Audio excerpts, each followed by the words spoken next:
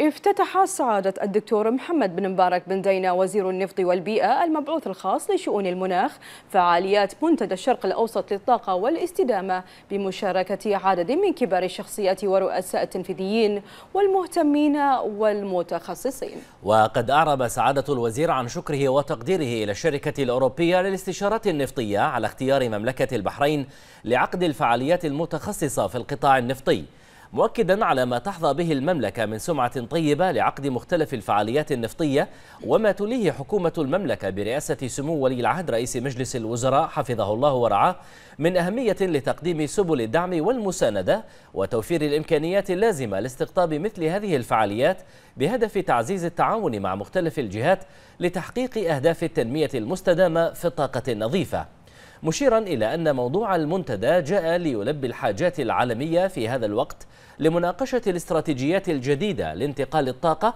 ووضع اللبنات الأساسية لمستقبل منخفض الكربون الذي يعتبر هذا المنتدى فرصة جيدة لتجميع كبار المسؤولين وصناع القرار والأكاديميين والفنيين للعمل معا على إيجاد حلول مناسبة ومتاحة لمواجهة مختلف التحديات.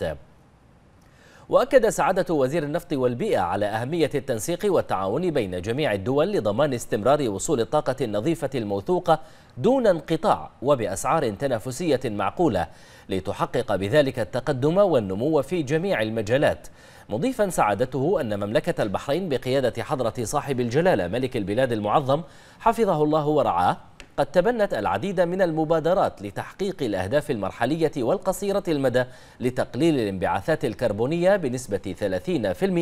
30% بحلول العام 2035 حضورنا اليوم في هذا المؤتمر في بداية سنة 2023 مهم جدا ليتوافق مع استراتيجية الدولة في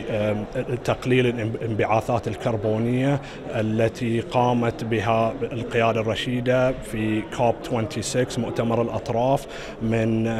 الوصول إلى الحياد الكربوني في سنة 2060 ومن جانب عملنا في هذا المؤتمر هو العمل على الاستراتيجيات التي ممكن من خلالها أن نقلل الانبعاثات الكربونية في البحرين من مختلف المصادر. إحنا مشاركين في هذا المؤتمر اللي يعرض موضوع هام جدا وهو موضوع الاستدامة والطاقة البديلة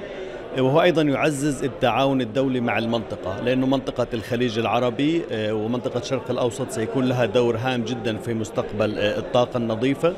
بحيث التركيز على الطاقة المتجددة طاقة الرياح والطاقة الشمسية أيضا الهيدروجين الأخضر والأزرق وإنتاجه خلال الفترات القادمة.